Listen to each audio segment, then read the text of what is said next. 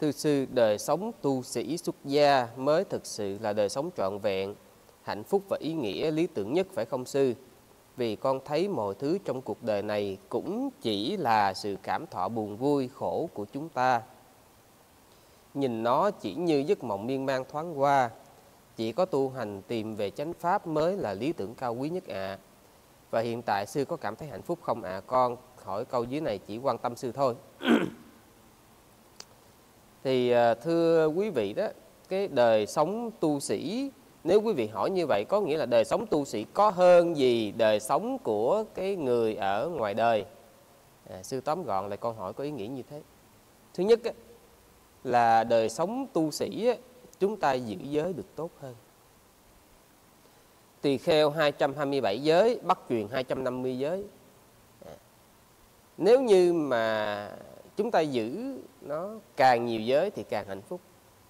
Mà một vị á, có um, sư tạm gọi là có dễ vui cách mấy đi nữa thì cái việc giữ năm giới của vị ấy cũng rất là dễ dàng.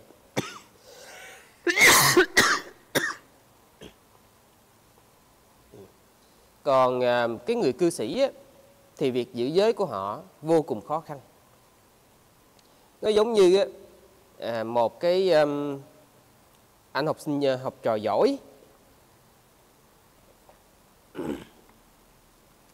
mà thì cái chuyện mà ảnh lấy không được 10 điểm thì cái chuyện mà ảnh lấy được ờ, 7 điểm hoặc là 8 điểm hoặc tệ lắm cũng 6 điểm là chuyện hết sức dễ dàng.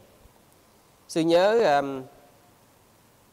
hồi ờ, hồi năm cấp 2 thì phải hình như hồi năm cấp 2 sư học uh, tiếng Anh rất là tệ.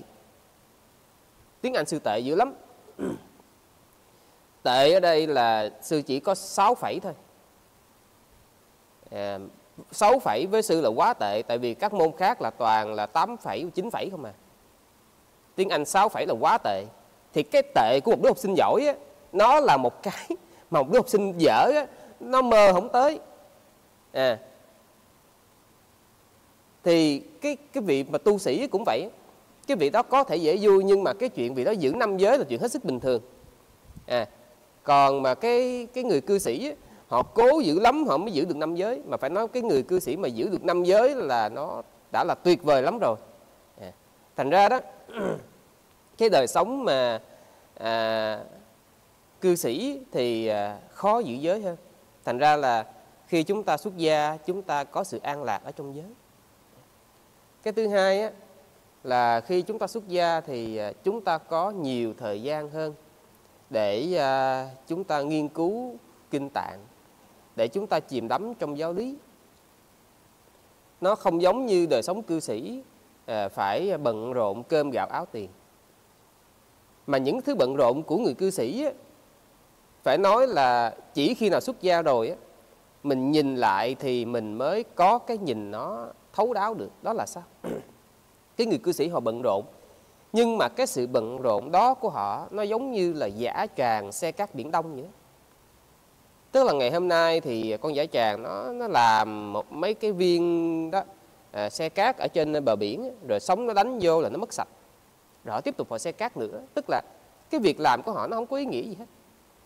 Nó giống như là những cái cỗ máy nó lặp đi lặp lại lặp đi lặp lại.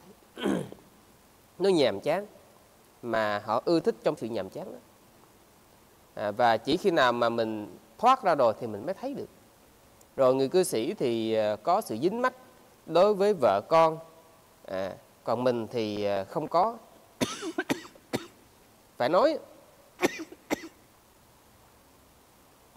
khi mà ra khỏi được đời sống hôn nhân nhìn lại đời sống hôn nhân ớn muốn chết à, mà cái người mà đang ở trong đó thì họ không có thấy à, sư tóm gọn lại á, là như thế này nè, để không có mất thời gian. Là đời sống của một vị tu sĩ á, không có sự ràng buộc không có sự trói buộc của những cái việc thế tục mà vì đó có thể chìm đắm trong pháp hạnh phúc trong giới và có sự an lạc của nội tâm. Chính vì như vậy đương nhiên đời sống tu sĩ là một đời sống đáng để hướng tới. Hơn thế nữa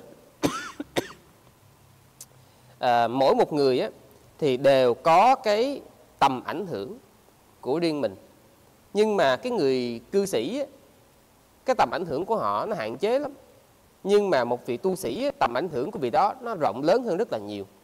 Cho nên nếu như mà muốn giúp đời muốn giúp đời giúp người thì xuất gia làm tu sĩ chúng ta giúp được nhiều hơn là chúng ta ở đời. Rồi chúng ta qua câu hỏi tiếp theo.